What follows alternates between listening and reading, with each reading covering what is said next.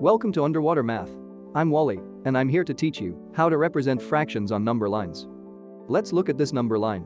It has 6 equal parts between 0 and 1 and shows sixths. If we wanted to show the fraction 4 sixths on this number line, we start at 0 and count each section as 1 sixth. 1 sixth, 2 sixths, 3 sixths, 4 sixths.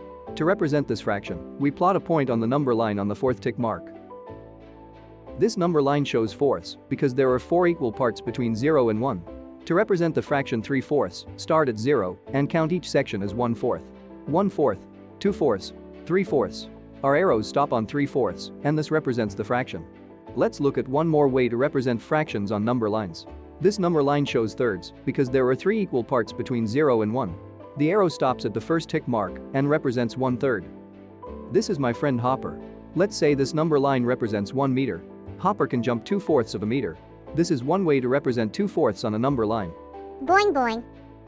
Hi, Wally. Hi Fran. I can fly 5 sixths of a mile. Can you help represent 5 sixths on the number line? Absolutely. This number line represents 1 mile.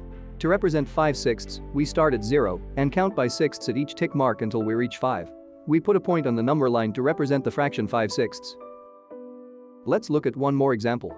Mr. Waddles is on his way to the grocery store. It is one mile away from his house.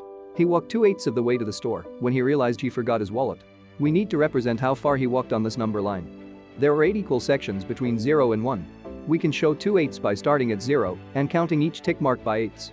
The arrow stops at the second tick mark and represents 2 eighths.